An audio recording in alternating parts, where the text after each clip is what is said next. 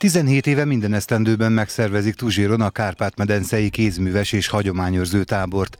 A gyerekek öt országból és tíz tájegységről érkeztek Tuzsérra, hogy különböző kézműves hagyományokat tanuljanak és bemutassák saját vidékük népszokásait.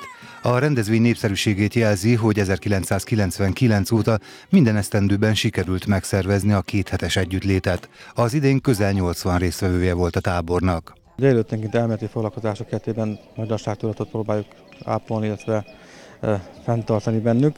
Aztán pedig ugye még a délőtt folyamán van egy kis tártanulás, élettanulás is. Délután műhelyeket nyitunk a művési háznak a, a nagy termében. Idén 8-9 műhely működött, nemezeltünk, batikoltunk, szőttünk, aztán hímeztünk, csuhébabát készítettünk, vartunk is, bőröztünk is. A táborzáró gála szombaton tartották a Tuzséri Lúnyai kastélyban, ahol a határon túlról érkezett gyerekek népviseletbe öltözve adtak ízelítőt hagyományaikból.